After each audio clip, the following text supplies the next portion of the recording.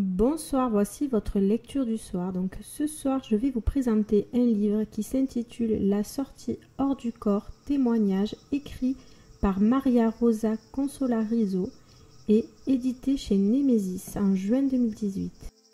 Expérimenter la sortie du corps en mode volontaire est l'unique manière de prouver qu'on ne meurt pas.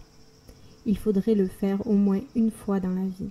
Cette expérience effrayante mais extraordinaire change notre vie complètement, comme le font les NDE.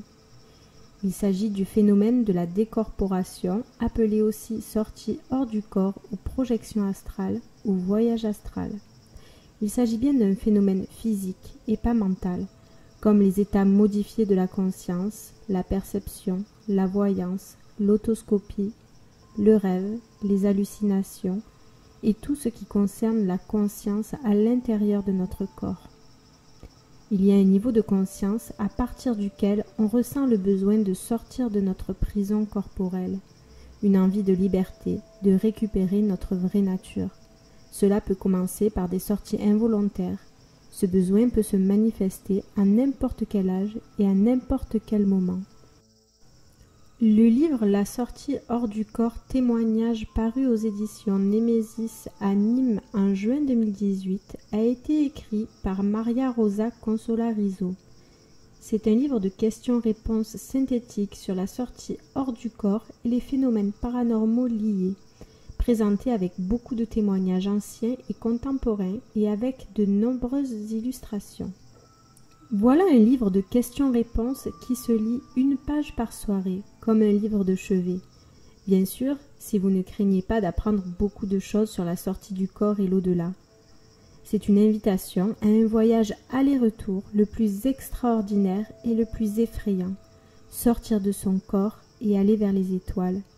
Nous n'en ferons jamais de si exaltant et de si effrayant en même temps. Pourquoi c'est si important de pouvoir sortir de son corps? J'ai assisté il y a quinze ans au dernier moment de vie de ma belle-mère, alors qu'elle me murmurait Je ne veux pas mourir, je ne veux pas mourir. Eh bien, à ce moment-là, je n'ai pas su quoi dire pour la consoler, pour lui donner de l'espoir. Eh bien, maintenant je sais. Maintenant que j'ai expérimenté ce phénomène, je saurai quoi lui dire. Et ce n'est pas du blabla. Avec ma sœur déjà décédée, j'ai su quoi lui dire devant son cercueil et un an après, elle est venue me rendre visite, en pleine nuit, pour me dire qu'elle était bien, et pour preuve, elle a laissé dans la chambre l'odeur de son corps longtemps après qu'elle avait disparu. Je n'ai plus peur de mourir. Je trouve ça extraordinaire. Témoignage de Anne Muller du groupe Facebook Sortie du corps témoignage du 30 décembre 2017. Planète et vaisseau et vue d'un appareil blanc. Voyage astral contemporain. J'ai senti mon corps s'élever, toute contente, et j'ai laissé faire. Du coup, je me suis sentie descendre. Je me suis rendu compte qu'en réalité, le haut et le bas en termes géographiques n'existent pas. Pourquoi? Parce que j'ai traversé des milliers de trucs, fluides, couleurs, matières, et j'ai terminé ma course dans l'espace. Après un petit moment de surprise, tandis que je défilais sans but au milieu des étoiles, j'ai vraiment observé ce qui m'entourait. Et là, waouh Des constellations, des soleils, des planètes. Je suis passée au beau milieu d'une structure. Ça ressemblait à un genre d'antenne ou de relais en forme un peu ovale et surtout gigantesque. Je l'ai longé et j'ai même ralenti pour mieux voir. C'était énorme.